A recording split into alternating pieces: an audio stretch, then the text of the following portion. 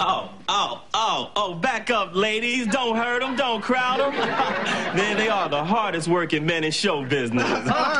Oh, snap, Mr. Tracy. So, uh, what brings you to our studio?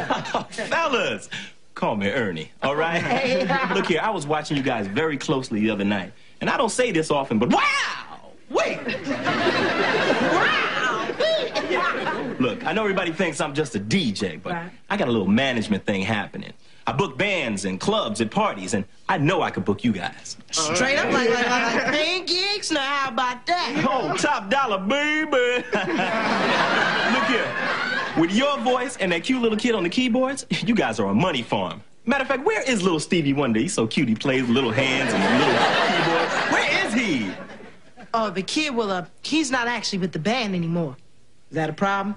Oh, oh, not at all. What band's he with? Here's the thing, Mr. Henderson. I really am moving into the management field because I got a head for figures and an eye for talent.